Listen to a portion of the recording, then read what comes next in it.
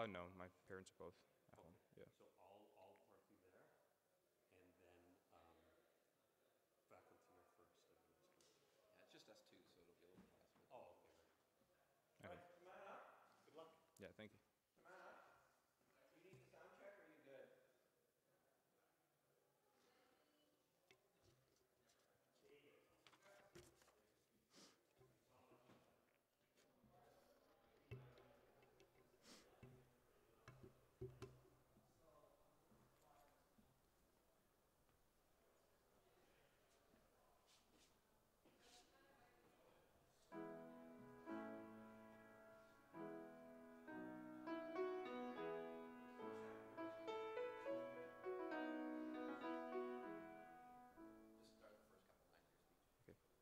Wake. Yeah. Wake. For the sun who scattered into flight, stars before him. Is that good?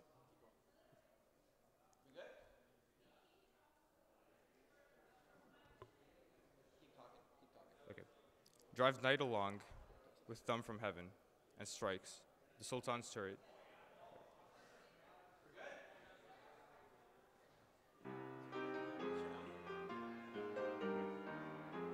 Kind of like, you're a guy, right? Like, so use the space. So hands here, plant your feet. Because you're kind of, you're, you're kind of like this.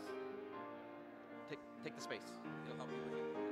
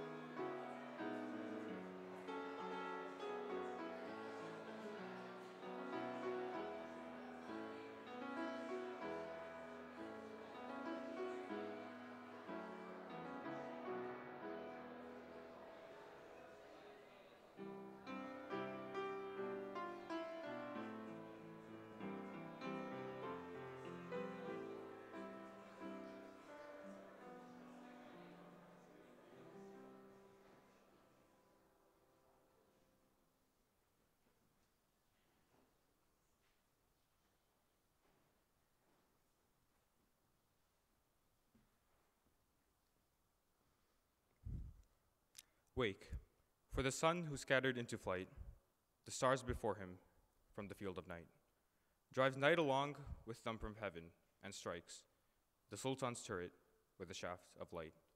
The moving finger writes, and having writ, moves on, nor all thy piety nor wit shall lure it back to cancel half a line, nor all thy tears wash out a word of it.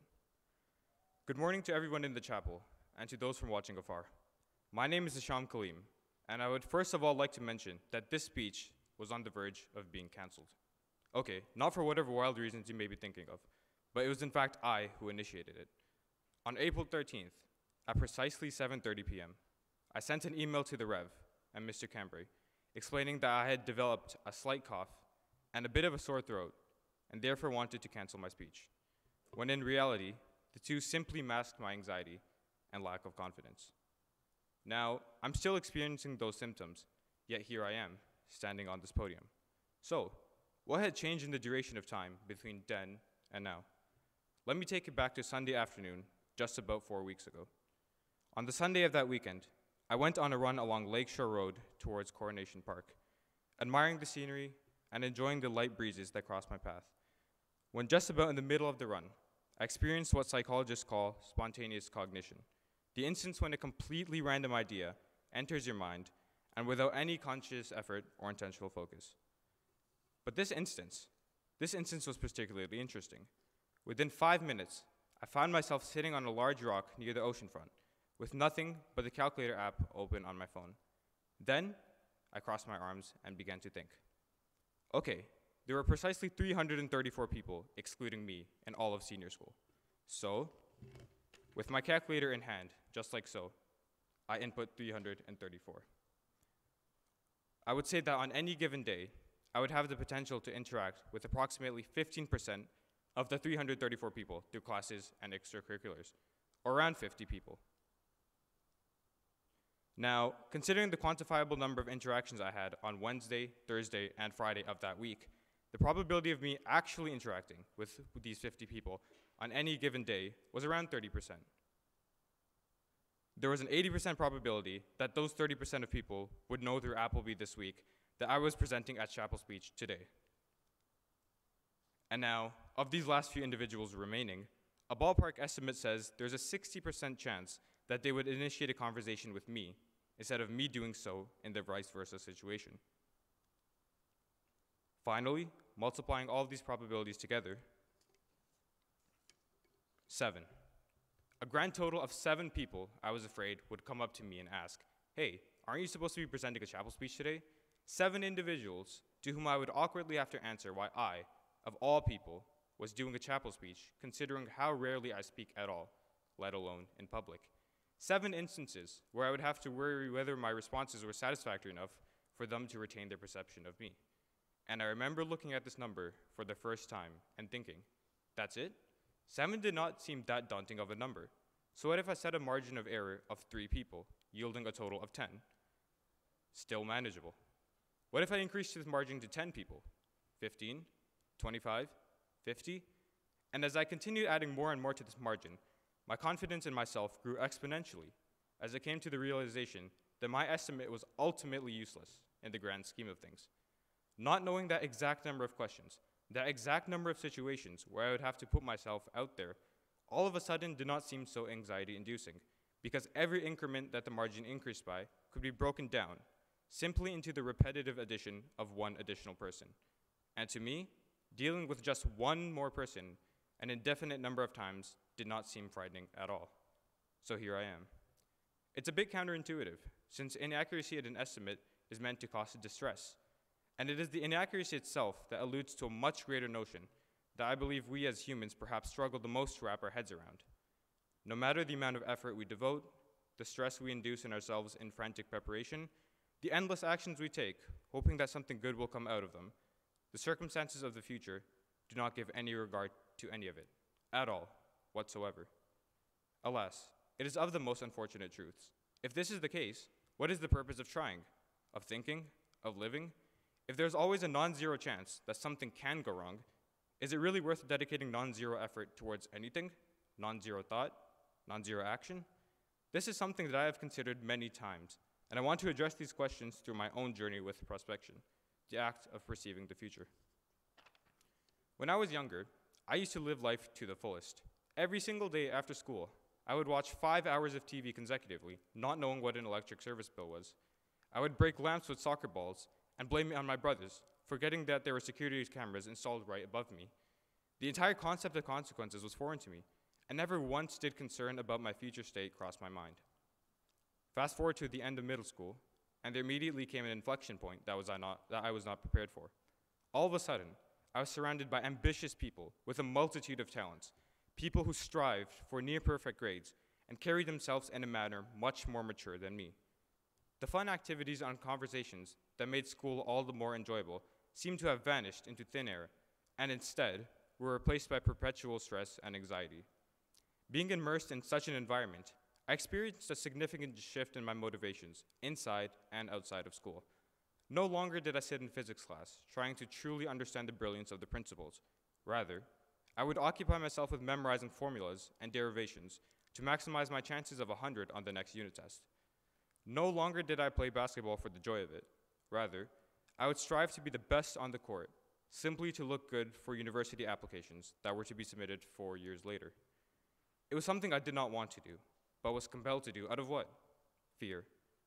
Fear that being myself would not be up to the standards of the people destined in my future. Fear that my life 20 years down the line would be in ruins if I did not invest myself in striving for perfection now. But there was one moment that completely fit my outlook of the unknown that to this day astonishes me. It was the night of September 14th, 2019. I had finished a cup of warm milk and was fast asleep, wanting to get a good amount of rest for school the next day, when suddenly there was a loud banging noise that abruptly woke me up. Assuming that it was simply a strong gust of wind, I fell back to sleep, only to be woken again by my parents in my room, looking out of the window.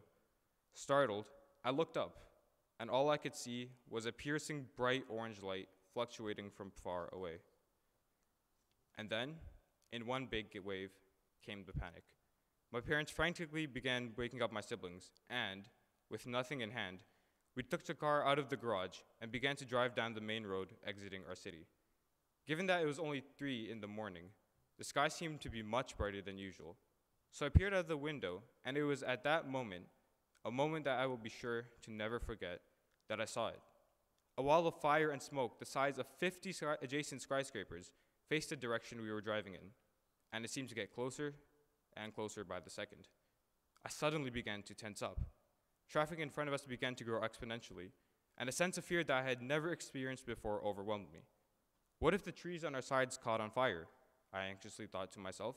Surely we wouldn't survive, and neither would those beside us. So, crossing the rows of trees, I closed my eyes tight and held on to every bit of hope I had. But within a blink of an eye, we were on the other side, completely unharmed. The same question emerged in my head when we crossed an oil field a kilometer or two from the fire. The smallest of sparks could easily ignite the pipes and destroy everything in our vicinity. Surely, if this happened, then we would certainly be in no position to survive. So, again, with my eyes closed, we crossed the field, and again, we were unharmed. Then we crossed a large gas station, then a long pipeline. Driving on and on, the fire seemed to be diminishing in size, and at some point, I realized that there was no more foreseeable danger. It was a very peculiar feeling, realizing that my life easily could have ended at any point. Yet there I was, standing with not a single scratch to be seen. In the aftermath of the incident, we learned that there had been a terrorist attack on one of our city's crude oil facilities that caused a 5% drop in the global oil supply. Well, the worries continued. Would there be layoffs to compensate for the supply shock? Were we on the verge of another attack? These questions occupied me for weeks until slowly, with time, they escaped my mind. Because none of it happened. None of the fears that had me on the edge became a reality, and I had ultimately sacrificed my time, energy, and mental capacity for nothing. Now, not everyone will be faced in the situation I was in, but if there is one thing I took away from that experience, it is that life is much, much too short to be dwelling in the past and idealizing the future. We often worry too much about how our past actions altered what our current circumstances could have been, and how our current actions could alter what our future circumstances could be. that in the process, we lose sense of our present selves. It is a natural human tendency to have hopes and aspirations, but if this tendency is not moderated, the feeling of overconfidence from envisioning the future can become very addictive. A string of successes, followed by the smallest of failures, could then be devastating, because for once, the future did not align with our expectations, and a downward spiral of self doubt ensues. Therefore, I ask all of you to stop, clear your mind of all fears, frustrations, and anxiety, and think if I were to be the best version of my true self now, what would happen? Would it be more effective for my future or less? Would investing times in things that I truly enjoy rather than those that others expect me to enjoy be more effective in opening doors of opportunity for me or less? Would focusing on self growth and my understanding of our world, instead of striving relentlessly for absolute perfection, be more effective in making my future goals a reality or less? In Islam, there is a concept of qadr, which roughly translates to divine decree, and it relates to the poem at the beginning of the speech, written by the ancient Arab poet Omar al Khayyam. It is the belief that God has full knowledge of everything that has happened and will happen, and that everything that occurs in the universe is according to His will and plan. This belief encompasses the idea that every single individual's destiny is predestined by God, but that human beings still have free will to make choices within the parameters set by God. Even if you are not religious, it is still logical to conclude that we as humans cannot control every single aspect of the future. While we may have one plan, the universe can easily throw us into the complete opposite direction that supersedes our plans. Therefore, it is unreasonable not to expect the unexpected. But once you, your, once you put your inability con- to control the future into the perspective of the universe's control, you attain this tranquility, this peace of mind, knowing that you could have climbed mountains or swam oceans, but what was meant to happen for you would ultimately happen.